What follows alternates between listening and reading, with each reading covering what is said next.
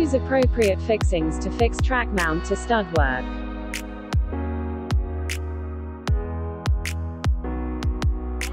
Ensure 67 mm and 38 mm gaps between aluminum track and structural opening to allow installation of trolley assemblies.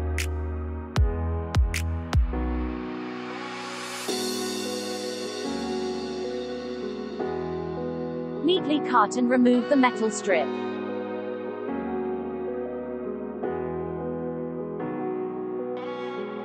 Use appropriate fixings to fix sole plate to the floor.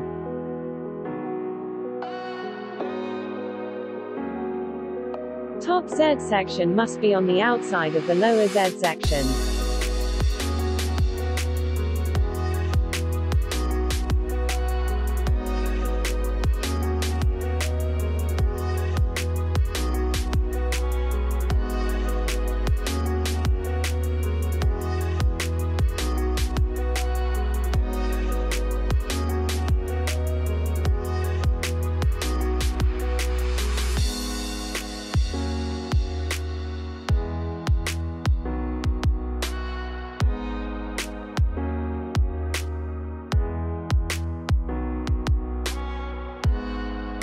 Pilot through Z sections where they overlap.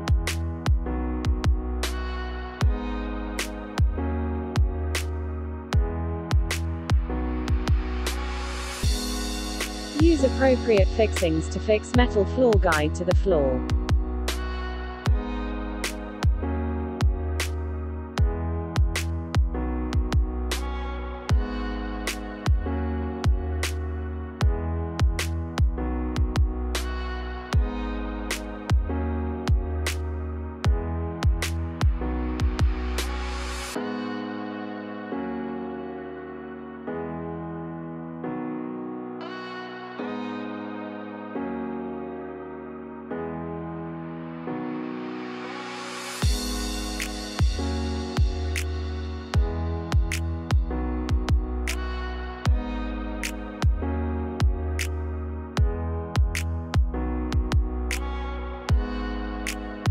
At an angle of approximately 45 degrees, slide the door partially onto the rear trolley assembly.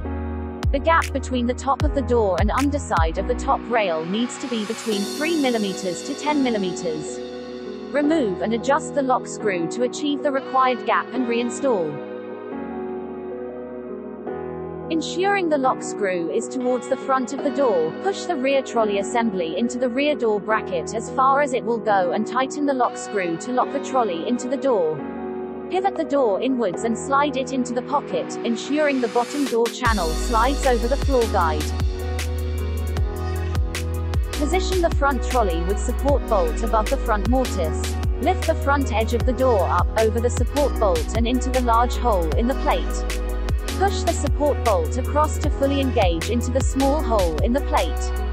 Adjust until the door is level. Pull the door firmly down onto the support bolt to secure the door.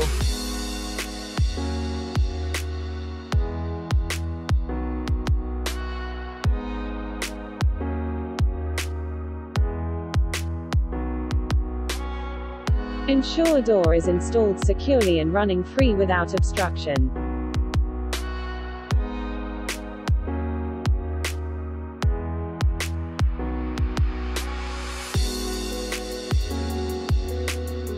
Position end stops and fix into required position before installing and tensioning the spring.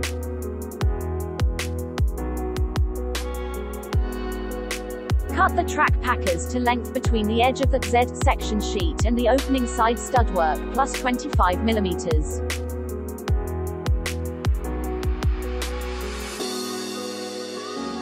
Cut the jamb to the correct height from the floor to the underside of the track packers plus 14 millimeters.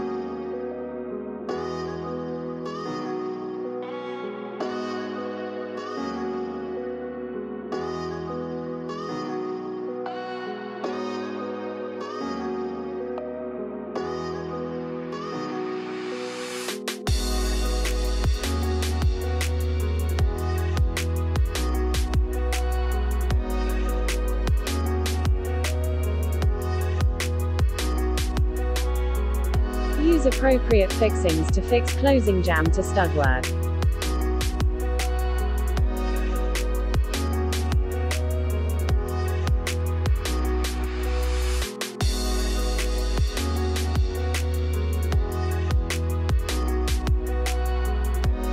Once all jambs are installed, paint to desired finish.